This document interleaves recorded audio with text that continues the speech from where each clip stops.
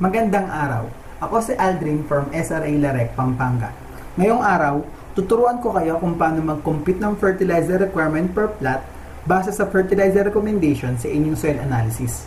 Ang tutorial na ito ay pwedeng gamitin for research and commercial purposes. Ang mga fertilizer na i-compute natin ay ang mga major fertilizer na ginagamit sa ating tubuhan. Ito ay ang urea, ammonium phosphate, at muriate of potash.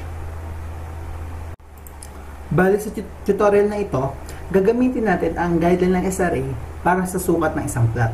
Ang isang plot ay dapat mayroong 1.3 meter furrow distance, 9 meter furrow length, at 6 furrows per plot. So in all, ang area ng isang plot ay mayroong 70.2 meter squared. Ang isang bag ay kadalasan mayroon ding 50 kg. Ayan ang gagamitin natin para uniform ang pag-compute natin ng fertilizer. Ito ang halimbawa ng isang soil analysis report galing sa Soil Laboratory Division sa LAREC. Meron itong soil texture, pH, percent OM, at mga elements. Meron din itong fertilizer recommendation in terms of kilogram per hectare at bags per hectare. Mas mainam at mas mabilis ang paggamit ng fertilizer recommendation in terms of bags per hectare dahil ito na yung amount ng fertilizer na ilalagay at gagamitin mo sa iyong tubuhan. Dahil ang fertilizer recommendation gamit ang kilogram per hectare is per element ang pag-compute nito. Sa tutorial na ito, bigyan ng pansin ang first dose recommendation dahil ito ang gagamitin natin para sa ating sample calculation. Unahin natin computin ang nitrogen. Tayo ay gagamit ng urea. Ito ay mayroong 46% nitrogen at walang phosphorus at potassium.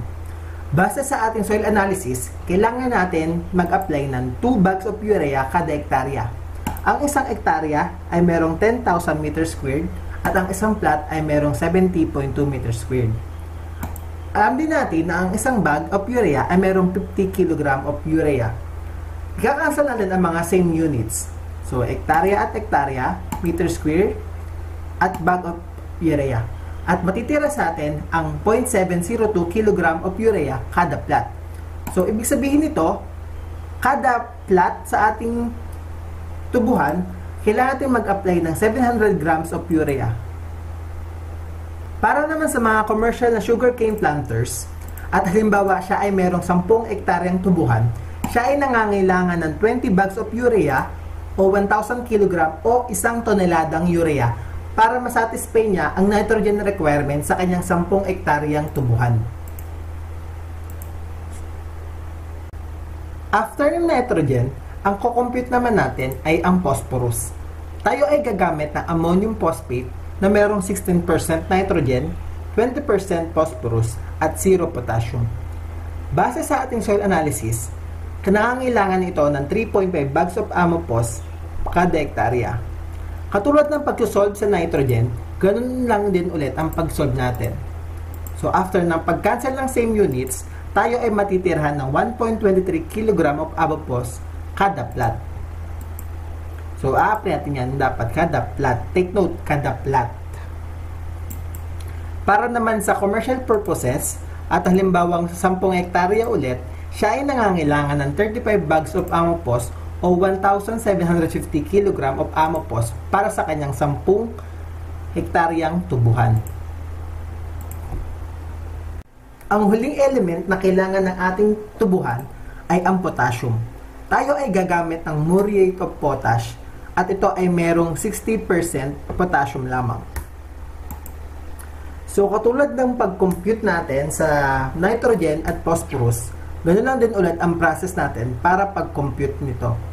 So, base sa ating soil analysis, tayo ay merong 0.5 bags of muriate of potash kada hektarya ang kailangan.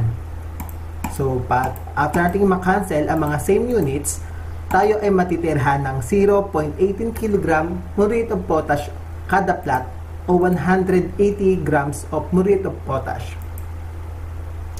Samantala, kapag naman commercial purposes at 10 hektarya, kailangan natin ng 5 bags of muriate of potash o 250 kg para masatisfy natin ang amount ng potassium sa first dose lamang.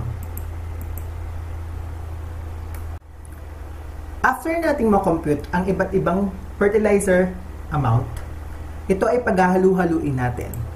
So, bale sa ating computation at sample soil analysis, ang kada plat dapat ay makareceive ng 0.7 kg of urea, 1.23 kg of amopos, 0.18 kg o 180 grams of muriate of potash. Kaya naman, ang isang plat ay makaka-receive ng 2.11 kg na pinaghalo-halong mga fertilizers. Samantala, ang commercial naman na merong 10 hectares ay nangangailangan ng 1,000 kg of urea, 1,750 kg of amopos, 250 kg of muriate of potash, in all, 3,000 kg na pinaghalo-halong mga fertilizer ang kailangan para masatisfy niya ang first dose application sa kanyang tubuhan. Ang first dose application ay karaniwang ginagawa 45 days after planting. Kaya hinati natin ang fertilizer application sa dalawa ay para maiwasan ang overdose o pagkalunod ng ating mga tubo sa nutrients na i-apply natin gamit ang mga fertilizer. May tamang oras at paraan para sa ating fertilizer application ito ay ating tatalakayin para sa ating next topic. Ang proper way of fertilizer application. Thank you.